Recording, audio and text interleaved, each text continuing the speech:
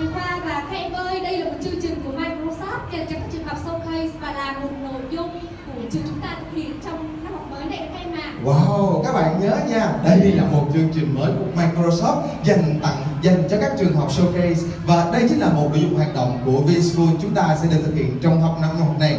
Vậy bây giờ thầy Khoa mời các bạn học sinh chúng ta cùng đứng lên. Wow, giỏi quá. Nhưng mà cái việc đứng lên này hơi bị chậm, hiện lại nha. Mời các bạn sinh ngồi xuống. Wow, xem Vincent nào đứng lên nhanh nhất. Mời các Vincent đứng lên. Wow. Đó, phải như vậy chứ Và một lần nữa chúng tôi xin trân trọng kính mời quý vị phụ huynh và quý thầy cô giáo sẽ cùng tham gia với các em trong tiết mục Go Ludo này Các bạn đã sẵn sàng chưa? Các bạn đã sẵn sàng chưa?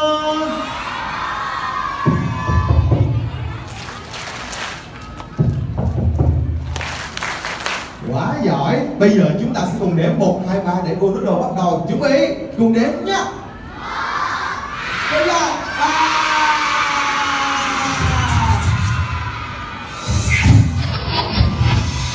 Banana, banana, meatball. Chúng ta cùng đọc to những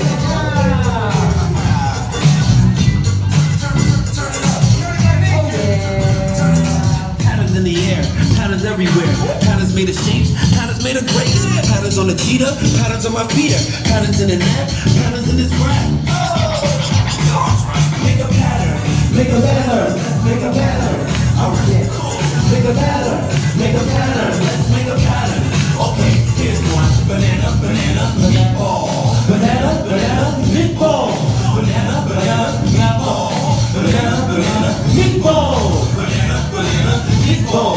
Banana, banana, meatball. Let's make a pattern.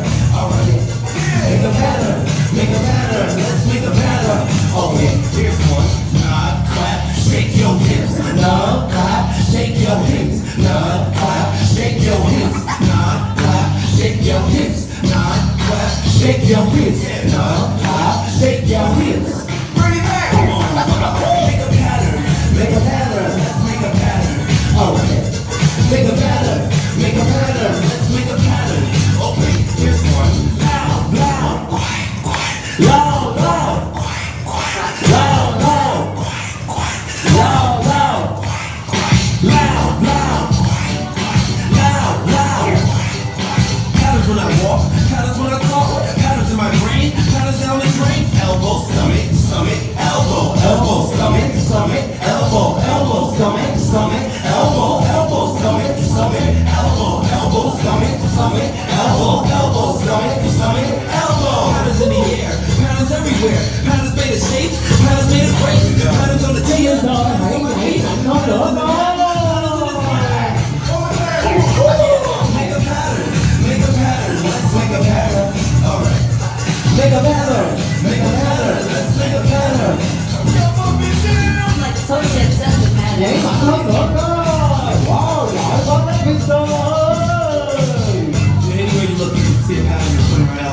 Just gotta be paying attention.